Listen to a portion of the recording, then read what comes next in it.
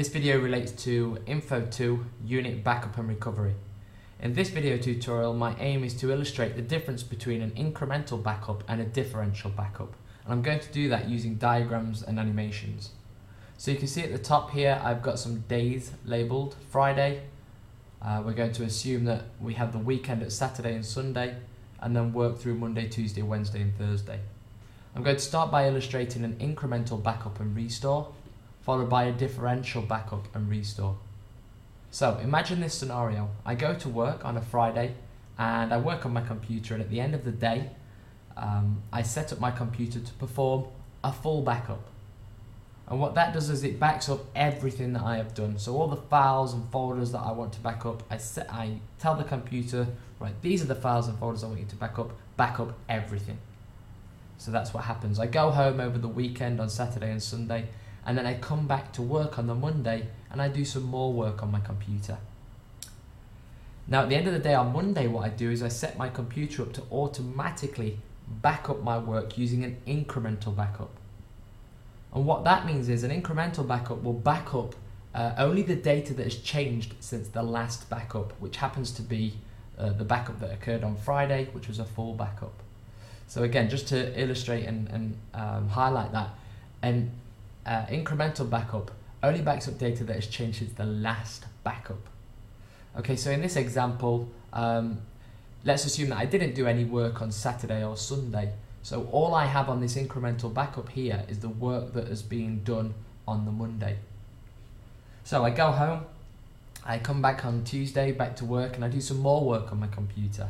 And again, at the end of the day, I leave, and my computer is automatically set up to perform another incremental backup. So let's recap what that means again. What an incremental backup will do is will only backup data that has changed since the last backup. So now the last backup is actually Monday's incremental backup. Therefore, in this example, this incremental backup here on the Tuesday will only have Tuesday's data on it. So I go home at the end of the day and then I come back to work on the Wednesday morning and again I do some more work on my computer. At the end of the day I go home and my computer is automatically set up again to do another incremental backup. So, like before, only an incremental backup only backs up data that has changed since the last backup, which is now Tuesday's incremental backup. So on this incremental backup here on Wednesday, I should only have the data that has uh, changed on Wednesday. So I go home and I come back to work on Thursday. Now, we've hit a problem because on Thursday, at the end of the day, I'm just about to back up and all, all of a sudden my computer crashes.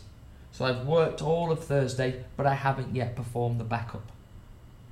Because my computer has crashed, this means that I've actually lost all of the work that I did on Thursday. I've potentially lost all of the work that I've done on Friday, however, I backed up this data from Friday through to Wednesday.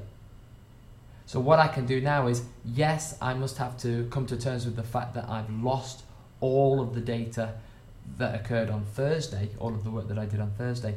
But now what I can do is I can perform a restore because I have these full and incremental backups here. So, how would we restore using an incremental backup?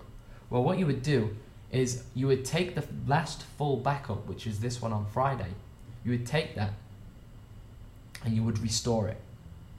What you then need is you then need all of the data from the Monday's incremental backup. So I take that and I restore it. Again, I would then need all the data from Tuesday's incremental backup and then I can restore it. And then again, I'd need all of Wednesday's incremental data and then I'd restore it. And as you can see, this would probably take quite a lot of time to actually restore because there's so many different backups that I've got to restore to get a, a, a full backup um, and restore. So that's how an incremental backup works. Now I'm going to illustrate how a differential backup and restore works. So similar scenario, I go to work on the Friday, I do some work on my computer, and at the end of the day, I've done all of my work, so I perform a full backup. So again, that backs up all the data and files that I've told it to, everything. I go home over the weekend on Saturday and Sunday and I come back on the Monday and I do some more work on my computer. At the end of the day, what I do is I set up my computer to do a backup, but this time I do a differential backup.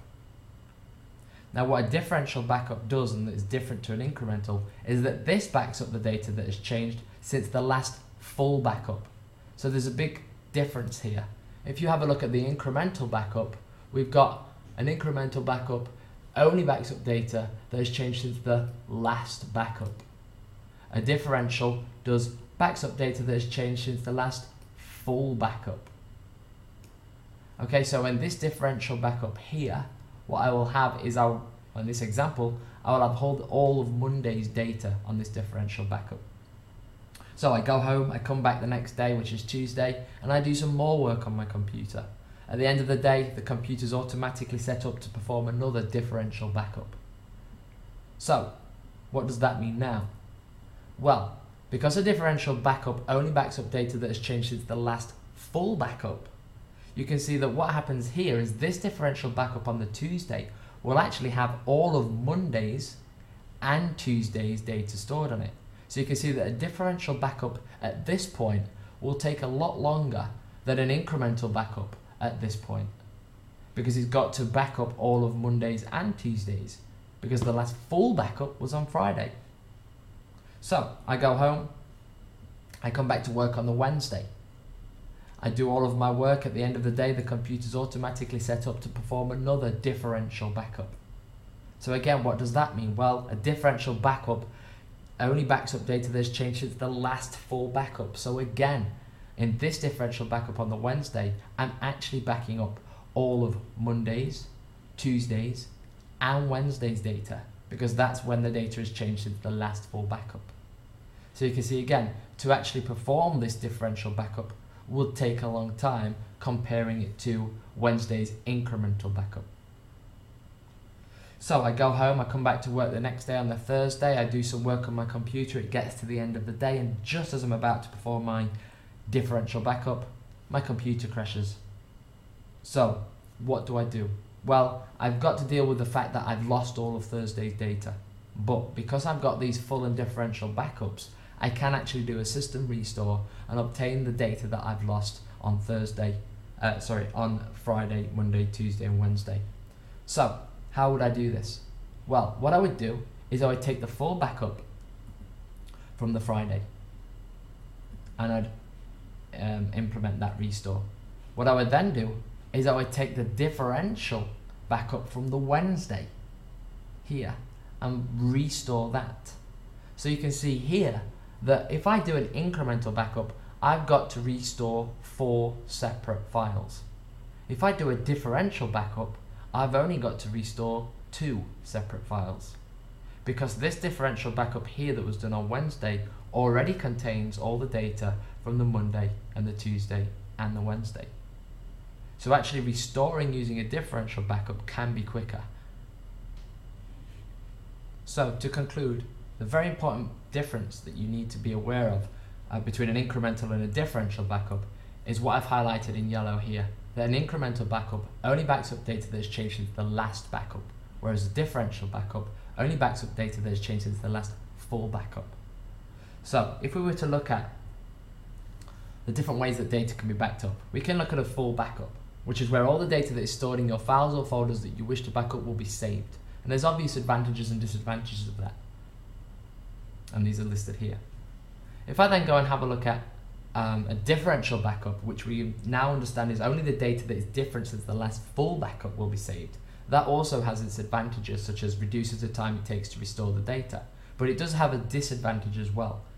For example, it is slower than an incremental backup because you've got to back up um, potentially three days worth of, of data instead of just one. We can then have a look at the uh, advantages and disadvantages of an incremental backup. So an incremental backup we know saves all the files that have been changed since the last backup, not just the last full backup.